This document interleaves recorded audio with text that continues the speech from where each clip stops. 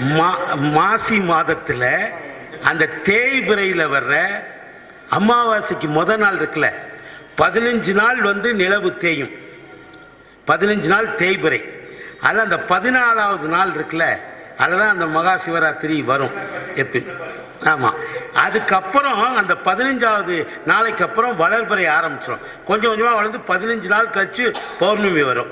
இங்கே முதல்ல பௌர்ணமி வந்துருச்சு. ரெண்டாவது அமாவாசை. இருங்க. அதில் ஒரு கருத்து என்னென்னா மனசுக்குள்ள சிவராத்திரியினுடைய தத்துவம் அதுதான். சிவராத்திரி எல்லாரும் கோயிலில் போய் கும்பிட்டுருக்குறோம். ஆனால் அதுக்குள்ளே ஒரு பெரிய தத்துவம் இருக்குது. ஏன் அமாவாசை முடிகிற நேரத்தில் அது வச்சாங்க தெரியுமா? தேய்பிரையில்.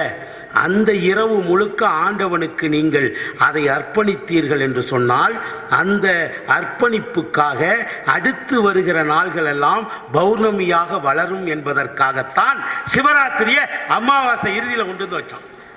அடுத்தாப்புல வளரணும். இன்னொரு ஒற்றுமை என்னன்னா அமாவாசை அந்த மகா சிவராத்திரி அன்னைக்கு நாலு கால பூஜை பண்ணணும். என்ன சிவராத்திரி எதுக்காக கொண்டாடுறாங்கன்னா சிவராத்திரி பல சிறப்புகள் இருக்குது அதில் ஒரு முக்கியமான சிறப்பு என்னன்னா ஒரு காலத்தில் தேவர்களும் அசுரர்களும் பார்க்கடலை கடைஞ்சாங்க. மேருமலையை மத்தாகவும் வாசுகி பாம்பு அஞ்சுதல் நாகம் இருக்குல்ல பரம இவர் பெருமாள் படுத்திருக்குது அனந்தசயனம் கொண்டிருக்குது. அந்த அஞ்சுதல பாம்பு அது வாசுகி பாம்பு. மேருமலையை மத்தாகவும் வாசுகி பாம்பை கயிறாகவும் வைத்து தேவர்களும் அசுரர்களும் பார்க்கடலை கடைகிற போது அதில் காமதேனு வந்தது கற்பக விருட்சம் வந்தது சூரியன் வந்தது சந்திரன் வந்தது எல்லாம் வந்தது. அதுக்கப்புறம் அமுதம் வரணும். ஆனால் அதுக்கு முந்தின லேயர் என்ன தெரியுமா? கொடுமையான ஆழகால விஷம். அதை என்ன பண்ண அதை கடலாம் பார்க்கடலே கருங்கடலாக மாறிடுச்சு. அப்படியே விஷமாக பரவி கொ- நுரை நுங்கு நுரையுமா இருக்குது. எல்லாரும் அலறி அடிச்சுட்டு சிவபெருமான் முறையிட்டாங்க. சிவபெருமான் அவருடைய அணுக்க தொண்டராக இருந்த ஆளாள சுந்தரர் அந்த ஆளாள விஷத்தை சுருட்டி எடுத்துட்டு வந்ததுனால அவருக்கு ஆளாள சுந்தரர்னு பேரு. அவர்தான் சுந்தரமூர்த்தி நாயனாரா மறுபிறவி எடுக்கிறார். இந்த ஆளாள சுந்தரரை அணுக்க தொண்டரை அனுப்பி நீ போய் அந்த விஷத்தை பூரா எடுத்து வானாரு இவர் பார்க்கடலில் உள்ள விஷத்தை பூரா எடுத்து உருட்டி லேகியமாக கொண்டு வந்து பரமசிவர் கையில் கொடுத்தாரு. பரமசிவன் அதை எடுத்து வாய்க்குள்ளே போட்டார். போட்ட உடனே பக்கத்தில் இருந்த பார்வதி தேவி கொதவளையை பிடிச்சிது. அன்னைக்கு பிடிச்ச புடி தான் இன்னைக்கு வரைக்கும் பிடிச்சிக்கிட்டு இருக்கிறாங்க. அதை விடுங்க. அது ஒரு நன்மைக்காக தான் பிடிச்சாங்க. என்ன? கொதவளையை பிடிச்ச உடனே அந்த நஞ்சு என்ன பண்ணுது? உள்ளே போகலை. கண்டத்திலே இருந்துச்சு ஆண்களுக்கு தான் இந்த இடம் கண்டம் இருக்கும். பெண்களுக்கு இருக்காது. பெண்களுக்கு இருந்ததுன்னா அது வியாதின்னு அர்த்தம். ஆண்களுக்கு என்ன? ஆண்கள் அப்பப்போ போகிற போக்கில் அப்படியெல்லாம் சொல்லிட்டு போகணும்ல. பெண்களே கண்டம் தாங்கிறாரு அவரு. அவர் ரொம்ப அனுபவிச்சு அனுபவிச்சு முடியெல்லாம் போச்சு அவருக்கு. என்ன ஒரு புடிமானம் வாழ்க்கையில் அவருக்கு ஒரு புடிமானமே இல்லாமல் போச்சு.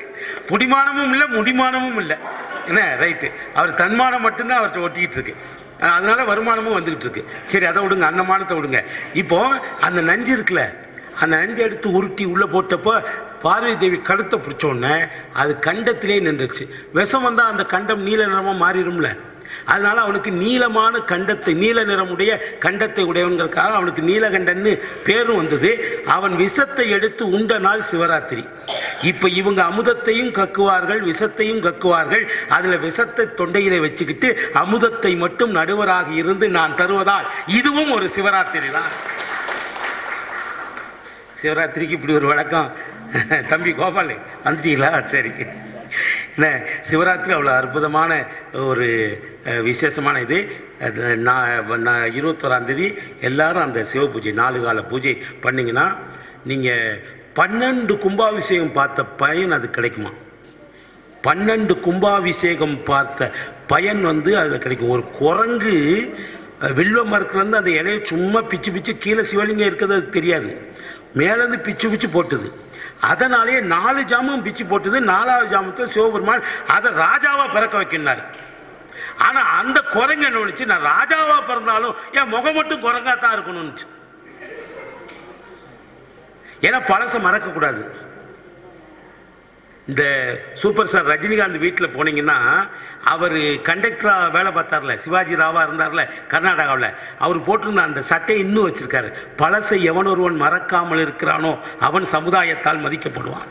அதனால் அந்த இது இருக்குல்ல அந்த பழசை மறக்காத அளவுக்கு அந்த உங்களுக்கு நிறைவான ஒரு வாழ்க்கையை அந்த இறைவன் வழங்குவான்றது அந்த குரங்கு முகத்தோடயே அவன் பிறந்தால அதனால் அந்த அரசனுக்கு முசுந்தன்னு பேர்.